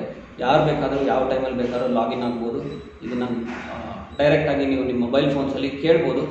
ನೀವು ಭಾಗವಹಿಸ್ಬೋದು. ಆ ವೆಬ್ಸೈಟ್ ನೀವು ನೋಡಬೇಕು ಅಂದರೆ ನೀವೊಂದು ಕೆಲಸ ಮಾಡಿ ಗೂಗಲಲ್ಲಿ twin hearts meditation I I S ಅಂತ ಟೈಪ್ ಮಾಡಿ ಸರ್ಚ್ ಮಾಡ್ತು ಅಂದರೆ ನಿಮಗೆ ಸಿಗುತ್ತೆ. ಇನ್ಫ್ಯಾಕ್ಟ್ ಈಗ ಲಾಕ್ಡೌನ್ ಇರೋದ್ರಿಂದ ಈ ಒಂದು ಮೆಡಿಟೇಷನನ್ನು ಎಲ್ಲ ಕಡೆ ಫ್ರೀಯಾಗಿ ಟೆಲಿಕಾಸ್ಟ್ ಮಾಡ್ತೀರ. ನೀವು ಯಾವ ಸಮಯ ಇರುತ್ತೆ ಅದನ್ನು ನೀವು ಲಾಗಿನ್ ಆಗಿಬಿಟ್ಟು ಮಾಡ್ಬೋದು. ಜಸ್ಟ್ ಇಪ್ಪತ್ತು ನಿಮಿಷ ಹಿಡಿಯುತ್ತೆ ಮೆಡಿಟೇಷನು ಸೊ ಇದರಲ್ಲಿ ದೇವರ ಒಂದು ಕಾಲುವೆ ಆಗಿ ಇಡೀ ಪೃಥ್ವಿಯನ್ನು ನೀವು ಈ ಒಂದು ಪಾಸಿಟಿವ್ ಎನರ್ಜೀಸಿಂದ ನೀವು ಬ್ಲೆಸ್ ಮಾಡ್ತಾ ಹೋಗ್ತೀರ. ಸೊ ಈ ಮೆಡಿಟೇಷನನ್ನು ಅಭ್ಯಾಸ ಮಾಡ್ತೀವಿ ಅದಾದಮೇಲೆ ಸರ್ವಿಸ್ ಮಾಡ್ಬೋದು. ನಿಮ್ಮದೇ ಆದಂಥ ನಿಮ್ಮ ಕೈಯಲ್ಲಿ ಏನು ಸಹಾಯ ಆಗುತ್ತೆ, ಅದನ್ನು ನೀವು ಬೇರೆಯವ್ರಿಗೆ ಮಾಡ್ಬೋದು. ಈಗ ಪ್ರತಿ ಜಿಲ್ಲೆಗಳಲ್ಲೂ ವಾಲಂಟಿಯರ್ಸ್ನ ಸೆಲೆಕ್ಟ್ ಮಾಡ್ತೀರ. ಸೊ ನಿಮಗೆ ಹೆಲ್ತಿಯಾಗಿದ್ದೀರಾ ನಿಮ್ಮ ಕೈಯಲ್ಲಿ ಏನೋ ಒಂದು ಮಾಡೋಕ್ಕಾಗುತ್ತೆ, ನಿಮ್ಮಲ್ಲಿ ಕೆಲವು ಸ್ಕಿಲ್ಸ್ ಇದೆ, ಅದರಿಂದ ಬೇರೆಯವ್ರಿಗೆ ಹೆಲ್ಪ್ ಆಗುತ್ತೆ, ಇಲ್ಲ ಸಾಕಷ್ಟು ಕಡೆ ಜನರ ಸಹಾಯ ಬೇಕಾಗುತ್ತೆ, ಎಷ್ಟೊಂದು ಜನ ಫುಡ್ ಡಿಸ್ಟ್ರಿಬ್ಯೂಷನ್ಗೆ ಜನ ವಾಲಂಟಿಯರ್ಸ್ ಬೇಕಾಗುತ್ತೆ. ಸೊ ಈ ಥರದಕ್ಕೆಲ್ಲ ನೀವು ಪಾರ್ಟಿಸಿಪೇಟ್ ಮಾಡ್ಬೋದು. ಸೊ ಅಲ್ಲಿ ಸಹ ನೀವು ನಿಮ್ಮ ಸರ್ವಿಸ್ನ ನೀವು ಮಾಡೋದ್ರಿಂದ ತುಂಬಾ ಪ್ರಯೋಜನ ಆಗುತ್ತೆ. ಇಲ್ಲ, ನಾವು ಮನೇಲೇ ಇರಬೇಕು ನಾವು ಕ್ವಾರಂಟೈನಲ್ಲೇ ಇರಬೇಕು ಅಂದರೆ ಅದು ಒಂದು ಸರ್ವಿಸೇ ಇನ್ಫ್ಯಾಕ್ಟ್ ನೀವೇನು ಮಾಡದೇ ಇದ್ದು ಮನೇಲಿದ್ರೇ ಗೌರ್ಮೆಂಟ್ಗೆ ಅದರಿಂದ ತುಂಬ ಹೆಲ್ಪ್ ಆಗುತ್ತೆ. ಏನಕ್ಕೆ ಅಂದರೆ ನಮ್ಮಿಂದ ಗೊತ್ತಿಲ್ಲದೇನೆ ಕೆಲವು ಸಲ ಬೇರೆಯವ್ರಿಗೆ ತೊಂದರೆ ಆಗೋ ಚಾನ್ಸಸ್ ಇರುತ್ತೆ. ಅಥವಾ ನಾವು ಅದನ್ನು ಕೆಲವು ಸಲ ಪ್ರಾಬ್ಲಮ್ಸ್ನ ಇನ್ಕ್ರೀಸ್ ಮಾಡೋ ಸಾಧ್ಯತೆಗಳಿರುತ್ತೆ. ಸೊ ಹಂಗಾಗಿ ನಾವೇನು ಗೌರ್ಮೆಂಟು ಕೆಲವು ರೂಲ್ಸ್ನ ನಾವು ಫಾಲೋ ಮಾಡ್ತೀವಿ that itself is service ಅದನ್ನು ಬಿಟ್ಟು ನೀವು ಬೇರೆ ಸರ್ವಿಸ್ ಆ್ಯಕ್ಟಿವಿಟೀಸ್ ಮಾಡೋಂಗಿತ್ತು ಅಂದರೆ ನೀವು ನಿಮ್ಮ ಜಿಲ್ಲಾಗಳ ಕೆಲವು ಇದನ್ನು, ಜಿಲ್ಲೆಯ ಕೆಲವು ಅಡ್ಮಿನಿಸ್ಟ್ರೇಷನ್ನ ಕಾಂಟ್ಯಾಕ್ಟ್ ಮಾಡ್ಬೋದು. ಅವ್ರು ನಿಮ್ಗೆ ಯಾವ ಥರ ಏನು ಮಾಡ್ಬೋದು ಅಂತ ಗೈಡ್ ಮಾಡ್ತಾ ಹೋಗ್ತಾರೆ. ನೆಕ್ಸ್ಟ್ ಏನು ಮಾಡ್ಬೋದು ಅಂದರೆ, ನಿಮ್ಮನ್ನು ನೀವು ಯಾವ ಥರ ನೋಡ್ಕೊಳ್ಳೋದು ಈ ಒಂದು ಟೈಮಲ್ಲಿ ನಿಮ್ಮ ಆರೋಗ್ಯನ ಯಾವ ಥರ ನೋಡ್ಕೊಳ್ಳೋದು ಅನ್ನೋದ್ರಲ್ಲಿ ಕೆಲವೊಂದು ನಾಲ್ಕೈದು ಪಾಯಿಂಟ್ಸ್ ಇದೆ. ಅದರಲ್ಲಿ ಮೊದಲನೇದು ಸರಿಯಾದಂಥ ಆಹಾರ ತಿನ್ನೋದು. ಓಕೆ ಈಗ ಮನೇಲೇ ಇದ್ದೀನಿ, ಮಾಡೋಕ್ಕೇನು ಕೆಲಸ ಇಲ್ಲ ಅಂದ್ಕೊಂಡು ಇರೋದನ್ನೆಲ್ಲ ತಿಂತಾ ಹೋಯಿತು ಅಂದರೆ, ಈ ಲಾಕ್ಡೌನ್ ಪೀರಿಯಡ್ ಮುಗಿಯೋಷ್ಟರಲ್ಲೇ ನೀವೇ ಪೇಷಂಟ್ಗಳಾಗ್ಬಿಡ್ತೀರ ಸೊ ಸರಿಯಾದಂಥ ಆಹಾರ ತಿನ್ನೋದು it's very very important nutrition ಬಗ್ಗೆ ಯೋಚನೆ ಮಾಡಿ ಎಕ್ಸಸ್ ಆಗಿ ತಿನ್ನಕ್ಕೆ ಹೋಗಬೇಡಿ ಇನ್ಫ್ಯಾಕ್ಟ್ ಒಂದು ಒಳ್ಳೆ ನ್ಯೂಸ್ ಏನು ಅಂದರೆ, ಈಗ ಯಾವುದು ಜಂಕ್ ಫುಡ್ಗಳು ಸಿಗ್ತಾ ಇಲ್ಲ ಇಲ್ಲಿ. ಗೋಬಿ ಮಂಚೂರಿ, ಪಾನಿಪುರಿ ಇದು ಯಾವುದು ಸಿಗ್ತಾ ಇಲ್ಲ. ಸೊ ಹಂಗಾಗಿ ಅದರಿಂದ ಒಂದು ಒಳ್ಳೆ ಇದಾಗಿದೆ ಸಾಕಷ್ಟು ಜನಕ್ಕೆ. ಬಟ್ ಹಂಗಂದ್ಬಿಟ್ಟು ಮನೇಲೇ ಅದನ್ನೆಲ್ಲ ಮಾಡ್ಕೊಂಡು ಜಾಸ್ತಿ ಜಾಸ್ತಿ ತಿನ್ನಕ್ಕೆ ಹೋಗಬೇಡಿ. ಎಲ್ಲನೂ ಮಿತವಾಗಿ ತಿನ್ನಬೇಕು ನಿಮ್ಮ ಡೈಲಿ ಕ್ಯಾಲೋರಿ ಕ್ಯಾಲೋರೀಸ್ ಎಷ್ಟು ಬೇಕು ನಿಮ್ಮ ಬಾಡಿಗೆ ನೋಡ್ಕೊಳ್ಳಿ. ಅದಕ್ಕೆ ಸಾಕಷ್ಟು ವೆಬ್ಸೈಟ್ಸ್ ಇದೆ ಇನ್ಫಾರ್ಮೇಷನ್ ಸಿಗುತ್ತೆ. ಅದು ಎಷ್ಟು ಬೇಕೋ ಅಷ್ಟನ್ನು ನೀವು ತಿಂತಾ ಹೋಗಿ, ಮಿತವಾಗಿ ತಿನ್ನಿ, ಹೆಚ್ಚು ಹಣ್ಣು ತರಕಾರಿ ತಿನ್ನಿ, ಹಣ್ಣು ತರಕಾರಿ ತಿನ್ನೋದ್ರಿಂದ ಅದರಲ್ಲಿ ಪ್ರಾಣಶಕ್ತಿಯ ಮಟ್ಟ ಜಾಸ್ತಿ ಇರುತ್ತೆ. ಅದನ್ನು ನೀವು ತಿಂದಾಗ ನಿಮ್ಮ ದೇಹಕ್ಕೆ ಕೆಲವು ಮೈಕ್ರೋ ನ್ಯೂಟ್ರಿಯೆಂಟ್ಸ್ ಬೇಕಾಗುತ್ತೆ. ಅದರಿಂದ ನಿಮ್ಮ ಹೆಲ್ತ್ ಇಂಪ್ರೂವ್ ಆಗುತ್ತೆ. ಮತ್ತು ನಮ್ಮ ಗೌರ್ಮೆಂಟ್ ಆಫ್ ಇಂಡಿಯಾ ಅವರು ಕೆಲವು ಏನೇನು ತಿನ್ನಬೇಕು ರೋಗ ನಿರೋಧಕ ಶಕ್ತಿ ಜಾಸ್ತಿ ಮಾಡ್ಕೊಳ್ಳಿಕ್ಕೆ ಅಂತ ಒಂದು ಲಿಸ್ಟನ್ನು ರಿಲೀಸ್ ಮಾಡಿದರೆ ಅದನ್ನು ನೀವೆಲ್ಲ ಅಭ್ಯಾಸ ಮಾಡಿ ಹೆಲ್ದಿ ಆಗ್ತೀರ. ಎರಡನೇದು ಎಕ್ಸರ್ಸೈಸ್ ಮಾಡೋದು ತುಂಬ ಇಂಪಾರ್ಟೆಂಟ್ ಸೊ ಒಂದು ತಮಾಷೆಯಾದಂಥ ಒಂದು ಇದಿದೆ. People who are healthy when people are healthy they don't exercise when they are sick they can't exercise ಅಂತ ಸೊ ಹೆಲ್ದಿ ಆಗಿರುವಾಗ ಎಕ್ಸರ್ಸೈಸ್ ಮಾಡೋದೇ ಇಲ್ಲ. ಏ, ಚೆನ್ನಾಗಿದ್ದೀವಲ್ಲ ಸುಮ್ಮನೆ ಎಕ್ಸರ್ಸೈಸ್ ಮಾಡಿ. ಕಾಯಿಲೆ ಅವ್ರಿಗೆ ಎಕ್ಸರ್ಸೈಸ್ ಮಾಡಿದ್ರೆ ಎಕ್ಸರ್ಸೈಸ್ ಮಾಡೋಕ್ಕಾಗಲ್ಲ ಅಂತ ಹೇಳಿ ಸೊ ಆ ಥರ ಒಂದು ಕ್ಯಾಟಗರಿಗೆ ನೀವು ಬೀಳ್ಬೇಡಿ. ಪ್ರತಿದಿನ ಒಂದು ಮೂವತ್ತು ನಿಮಿಷ ನಿಮ್ಗೆ ಯಾವ ಥರ ವ್ಯಾಯಾಮ ಬೇಕು ನೀವು ಅಭ್ಯಾಸ ಮಾಡಿ ಇನ್ಫ್ಯಾಕ್ಟ್ ಈಗಂತೂ ಯೂಟ್ಯೂಬಲ್ಲೇ ಸಾಕಷ್ಟು ಥರ ಎಕ್ಸರ್ಸೈಸ್ಗಳು ನೀವು ನೋಡ್ಕೊಂಡು ಮಾಡೋ ಥರ ಆಪ್ಷನ್ಸ್ ನಿಮ್ಗೆ ಕೊಟ್ಟಿದ್ದಾರೆ. ನೀವು ಯೋಗ ಮಾಡಬೇಕು ಅಂದರೆ ಯೋಗ ಮಾಡಿ. ಇಲ್ಲ ನನಗೆ ಯೋಗ ಇಷ್ಟ ಇಲ್ಲ. ನಾನು ಜಿಮ್ ಮಾಡ್ತೀನಿ ಅದನ್ನು ಮಾಡ್ಬೋದು. ಇಲ್ಲ ಡ್ಯಾನ್ಸ್ ಜುಂಬಾ ಕಲಿತೀನಿ, ನೀವು ಅದನ್ನು ಮಾಡ್ಬೋದು. ನಿಮ್ಗೆ ಯಾವುದು ಆಸಕ್ತಿ ಅನಿಸುತ್ತೆ ಮನಸ್ಸಿಗೆ ಅದರಲ್ಲಿ ನೀವು ತೊಡಗಿಸ್ಕೊಳ್ಳಿ. ಸುಮ್ಮನೆ ಕೂತ್ಕೊಳ್ಳೋದ್ರಿಂದ ದೇಹದಲ್ಲಿ ಏನಾಗುತ್ತೆ ಅಂದರೆ ಸಾಕಷ್ಟು ಸರ್ಕ್ಯುಲೇಷನ್ ಆಗದೇ ಅಲ್ಲಲ್ಲಿ ಫ್ಯಾಟ್ ಅಕ್ಯುಮುಲೇಟ್ ಆಗಿ ಅದರಿಂದ ಏನಾಗುತ್ತೆ? ಖಾಯಿಲೆಗಳು ಬರೋದು ಜಾಸ್ತಿ ಆಗುತ್ತೆ. ಸೊ ವ್ಯಾಯಾಮ ಮಾಡ್ತಾ ಇರೋದ್ರಿಂದ ದೇಹ ಏನಾಗುತ್ತೆ? ಬೇಡದೇ ಇರೋ ಎನರ್ಜೀಸನ್ನ ಮತ್ತು ಅನ್ವಾಂಟೆಡ್ ಫ್ಯಾಟನ್ನು ಬಾಡಿಯಿಂದ ಎಕ್ಸ್ಪೆಲ್ ಮಾಡ್ತಾ ಹೋಗುತ್ತೆ. ಇನ್ಫ್ಯಾಕ್ಟ್ ನೀವು ಸಾಕಷ್ಟು ಜನ ಸಕ್ಸಸ್ಫುಲ್ ಆ್ಯಕ್ಟರ್ಗಳನ್ನ ಆ್ಯಕ್ಟ್ರಸ್ಗಳನ್ನ ನೋಡ್ಬೋದು. ಡೈಲಿ ಅವರು ಒಂದು ತುಂಬ ಒಳ್ಳೆ ಕೆಲಸ ಏನು ಮಾಡ್ತಾರೆ ಅಂದರೆ ದೇ ವಿಲ್ ಎಕ್ಸರ್ಸೈಸ್ ಸುಮಾರು ಒಂದು ಗಂಟೆ ಅಥವಾ ಎರಡು ಗಂಟೆ ಕಾಲ ಚೆನ್ನಾಗಿ ಎಕ್ಸರ್ಸೈಸ್ ಮಾಡ್ತಾರೆ. ಅದರಿಂದ ಅವ್ರು ಹೆಲ್ತಿಯಾಗೂ ಇರ್ತಾರೆ. ಇನ್ಫ್ಯಾಕ್ಟ್ ಅವ್ರ ಏಜ್ಗಿಂತ ಅವರು ತುಂಬ ಯಂಗಾಗೂ ಕಾಣಿಸ್ತಿರ್ತಾರೆ. ನೆಕ್ಸ್ಟ್ ನೋಡಿ, ತುಂಬ ಇಂಪಾರ್ಟೆಂಟ್ ಇದು. ಇಂಟ್ರೋಸ್ಪೆಕ್ಷನ್ ಇಂಟ್ರೋಸ್ಪೆಕ್ಷನ್ ಅಂದರೆ ಏನು? ನಿಮ್ಮ ಲೈಫ್ ಬಗ್ಗೆ ಬೆಳಗ್ಗೆಯಿಂದ ಸಾಯಂಕಾಲ ಏನು ಮಾಡಿರ್ತೀರಾ? ಅದನ್ನು ಒಂದು ಡೈರಿ ಥರ ಬರಿಬೋದು ನೀವು. ಇದನ್ನು ನೀವು ಯಾರಿಗೂ ತೋರಿಸೋ ಅವಶ್ಯಕತೆ ಇಲ್ಲ. ನಿಮ್ಮ ಲೈಫಲ್ಲಿ ನೀವೇನು ಮಾಡಿರ್ತೀರ, ಅದನ್ನು ಬರೀರಿ. ಒಳ್ಳೇದನ್ನು ಬರೀರಿ ಕೆಟ್ಟದನ್ನು ಬರೀರಿ. ನೀವು ಯಾರಿಗೇನು ಅಂದಿರ್ತೀರಾ, ಯಾರಿಗೇನು ಮಾಡಿರ್ತೀರಾ ಮನಸ್ಸಲ್ಲಿ ಯಾರ ಬಗ್ಗೆ ಯೋಚನೆ ಮಾಡ್ತೀರಾ, ಪೂರ್ತಿ ಎಲ್ಲ ಬರೀಬೇಕು. ಸುಮ್ಮನೆ ಡೈರಿ ಅಂದ ತಕ್ಷಣ ಒಂಬತ್ತು ಗಂಟೆಗೆ ತಿಂದೆ, ಮಧ್ಯಾಹ್ನ ಒಂದು ಗಂಟೆಗೆ ತಿಂದೆ, ಸಾಯಂಕಾಲ ಟಿ ವಿ ನೋಡಿದೆ ಮಲ್ಕೊಂಡೆ, ಅಷ್ಟಲ್ಲ ಅಡ್ಡಿ. ಸೊ, ಡೈರಿ ಅಂದರೆ it should be very very deep so ಪ್ರ ಬೆಳಿಗ್ಗೆ ಓಕೆ ನಾನು ಹಲ್ಲುಚ್ತಾ ಇದ್ದೆ. ಪಕ್ಕದ ಮನೆಯವ್ರಿಗೇನೋ ಬೈಕೋತಾ ಇದೆ ಮನಸ್ಸಲ್ಲಿ ಅದನ್ನು ಮೆನ್ಷನ್ ಮಾಡಬೇಕು. ಸೊ ಇದೆಲ್ಲ ಮೆನ್ಷನ್ ಮಾಡ್ಕೊಂಡಾಗ ನೀವೇನು ಮಾಡಿ, ಅದನ್ನ ಒಂದ್ಸಲ ಓದ್ಬಿಟ್ಟು, ಎಲ್ಲಿ ತಪ್ಪು ಮಾಡಿರ್ತೀರ, ಅದನ್ನು ಮನಸ್ಸಲ್ಲೇ ಒಂದು ದೃಢ ಸಂಕಲ್ಪ ಮಾಡಬೇಕು. ನಾನು ನಾಳೆಯಿಂದ ಇದನ್ನು ಮಾಡೋಕ್ಕೆ ಕಡಿಮೆ ಮಾಡ್ತೀನಿ. ಓಕೆ ಇವತ್ತು ಹಲ್ಲುವಾಗ ನಾನು ಪಕ್ಕದ ಮನೆಯವ್ರಿಗೆ ಬೈಕೊಂಡೆ, ನಾನು ನಾಳೆಯಿಂದ ಈ ಕೆಲಸ ಮಾಡಲ್ಲ ಅಂತ ದೃಢ ಸಂಕಲ್ಪ ಮಾಡಿ. ಇಲ್ಲ, ಯಾರಿಗೋ ದಾನ ಮಾಡಿದ್ರಿ ಆ ದಿನ. ಸೊ ಅದನ್ನು ನೀವು ಅಪ್ರಿಷಿಯೇಟ್ ಮಾಡಬೇಕು. ಇವತ್ತು ದಾನ ಮಾಡಿದೆ ನಾನು ಸಭಾಷ್ ಸೊ ಇದನ್ನು ಕಂಟಿನ್ಯೂ ಮಾಡಬೇಕು. ಸೊ ಈ ಥರ ಕೆಟ್ಟದನ್ನೆಲ್ಲ ನಾನು ಮಾಡಲ್ಲ. ಒಳ್ಳೇದು ಮಾಡ್ತೀನಿ ಅಂತ ಮನಸ್ಸಲ್ಲೇ ದೃಢ ಸಂಕಲ್ಪ ಮಾಡಿ. ಸೊ ಈ ಥರ ಮಾಡಿದಾಗ ಏನಾಗುತ್ತೆ ಅಂದರೆ ನಿಮ್ಮಲ್ಲಿ ಒಂದು ಆಂತರಿಕ ಶಕ್ತಿ ಬರುತ್ತೆ. ನಿಮ್ಮ ಮೇಲೆ ನಿಮಗೆ ಕಾನ್ಫಿಡೆನ್ಸ್ ಡೆವಲಪ್ ಆಗುತ್ತೆ. ಇದನ್ನು ಸ್ಪಿರಿಚುವಲ್ ಹೆಲ್ತ್ ಅಂತ ಹೇಳ್ತೀವಿ. ಸೊ ನಿಮ್ಮಲ್ಲಿ ಆತ್ಮಸ್ಥೈರ್ಯ, ಮತ್ತು ಬೇರೆಯವ್ರನ್ನ ಕ್ಷಮಿಸೋದು ಮತ್ತು ನಿಮ್ಮ ಬಗ್ಗೆ ನೀವು ಪಾಸಿಟಿವ್ ಆಗಿ ಯೋಚನೆ ಮಾಡೋದಿದೆಯಲ್ಲ this belongs to spiritual health ನಾವಾಗಲೇ ಹೇಳ್ತಾ ಇದ್ದೆ physical health emotional health spiritual health ಅಂತ. ಸೊ ಈ ಮೆಡಿಟೇಷನ್ ಮಾಡೋದು, ಪ್ರಾರ್ಥನೆ ಮಾಡೋದು, ಮತ್ತು ಒಬ್ಬರನ್ನ ಒಬ್ಬರು ಆತ್ಮ ವಿಶ್ಲೇಷಣೆ ಅಂತ ಏನು ಹೇಳ್ತೀವಿ? ಸೆಲ್ಫ್ ಸೆಲ್ಫ್ ಇಂಟ್ರೋಸ್ಪೆಕ್ಷನ್ ಇದನ್ನು ಮಾಡ್ಕೊಳ್ಳೋದ್ರಿಂದ ತುಂಬ ಹೆಲ್ಪ್ ಆಗುತ್ತೆ. ಡೈಲಿ ಒಂದು ಹತ್ತರಿ ಹತ್ತರಿಂದ ಹದಿನೈದು ನಿಮಿಷ ಸೆಲ್ಫ್ ಇಂಟ್ರೋಸ್ಪೆಕ್ಷನ್ಗೆ ನೀವು ನಿಮ್ಮನ್ನು ತೊಡಗಿಸ್ಕೊಳ್ಳಿ. ತುಂಬ ಪರಿವರ್ತನೆ ಆಗುತ್ತೆ.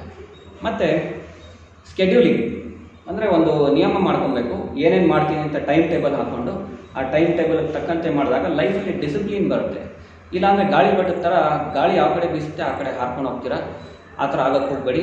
ನಿಮ್ಮ ಲೈಫನ್ನ ಒಂದು ಸ್ಕೆಡ್ಯೂಲ್ ಮಾಡಿಕೊಂಡು ಅದನ್ನು ಸಾಕಷ್ಟು ಫಾಲೋ ಮಾಡೋಕ್ಕೆ ಟ್ರೈ ಮಾಡಿ. ಆಮೇಲೆ, ನೋಡಿ, ದೇವರು ನಮಗೆ ಎರಡು ಕಣ್ಣು ಕೊಟ್ಟಿದ್ದಾರೆ, ಎರಡು ಕಿವಿ ಕೊಟ್ಟಿದ್ದಾರೆ ಬಟ್ ಒಂದೇ ಬಾಯಿ ಕೊಟ್ಟಿದ್ದಾರೆ. ಸೊ ಅದೇ ಪ್ರಪೋರ್ಷನಲ್ಲಿ ನಾವು ಯೂಸ್ ಮಾಡಬೇಕು. ಅಂದರೆ ಕಣ್ಣನ್ನು, ಕಿವಿನ ಕೇಳಿಸ್ಕೊಳ್ಳೋಕ್ಕೆ, ವಿಷಯಗಳನ್ನ ತಿಳ್ಕೊಳ್ಳೋಕ್ಕೆ ಯೂಸ್ ಮಾಡಬೇಕು, ಮಾತು ಕಡಿಮೆ ಮಾಡಬೇಕು. ಕೆಲವು ಸಲ ಅನ್ನೆಸೆಸರಿಯಾಗಿ ನಾವು ಮಾತಾಡ್ತಾನೆ ಇರ್ತೀವಿ. ಸೊ ಅದ್ರ ಬದಲು ಸಾಕಷ್ಟು ಕಲಿಯೋ ವಿಚಾರಗಳಿದೆ. ಇಂಟರ್ನೆಟ್ಟಲ್ಲಿ ಸಾಕಷ್ಟು ಲರ್ನಿಂಗ್ ವೆಬ್ಸೈಟ್ಸ್ ಇದೆ. ಹೊಸ ವಿಷಯಗಳನ್ನ ಕಲ್ತ್ಕೊಳ್ಳಿ, ಹೊಸ ವಿಷಯಗಳನ್ನ ತಿಳ್ಕೊಳ್ಳಿ. ಅದರಲ್ಲಿ ನಿಮ್ಮನ್ನು ನೀವು ತೊಡಗಿಸ್ಕೊಳ್ಳಿ. ಇವಾಗಂತೂ ನೀವು ಎಲ್ಲಿ ಹೊರಗಡೆ ಹೋಗೋ ಅವಶ್ಯಕತೆ ಇಲ್ಲ. ನಿಮ್ಮ ಮೊಬೈಲಲ್ಲೇ ನಿಮ್ಗೆ ಯಾವ ಬುಕ್? ಬೇಕು ಕಿಂಡಲಲ್ಲಿ ನೀವು ಡೌನ್ಲೋಡ್ ಮಾಡ್ಕೊಬೋದು ಬುಕ್ಸ್ನ ಓದ್ಬೋದು ಆನ್ಲೈನ್ ಕೋರ್ಸಸ್ ಇದೆ. ಅದನ್ನೆಲ್ಲ ಕಲ್ತ್ಕೊಂಡು ಜೀವನ ಪೂರ್ತ ನೀವು ನಿಮ್ಮ ಕಲಿಕೆಯನ್ನು ಇನ್ಕ್ರೀಸ್ ಮಾಡ್ಕೋತಾ ಹೋಗಿ. ಆಮೇಲೆ ಪ್ರಾರ್ಥನೆ. ಪ್ರಾರ್ಥನೆ ಅಂದರೆ ಭಗವಂತನಲ್ಲಿ ನೀವು ಮಾತಾಡೋದು.